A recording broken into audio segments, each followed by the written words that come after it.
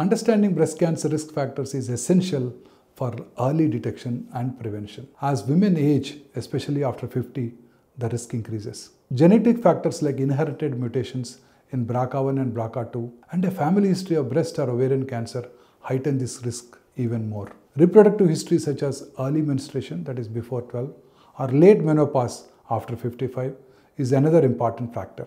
Women who did not have children at all are women who have had their first pregnancy after 30 and women who have not breastfed their children at all are at high risk of developing breast cancer. Dense breast tissue can make it harder to detect tumors on a mammogram and may increase the risk. Personal history of breast cancer or benign conditions as well as radiation exposure, particularly before the age of 30, can lead to a greater risk in later life. Obesity, especially after menopause, hormone therapy, particularly combination therapy, also contribute to the risk. Lifestyle choices like alcohol consumption, cigarette smoking, or even taller height can further impact breast cancer risk. At Omega Hospitals, our breast clinic offers comprehensive screenings, personalized care, and expert guidance to help you manage your risk.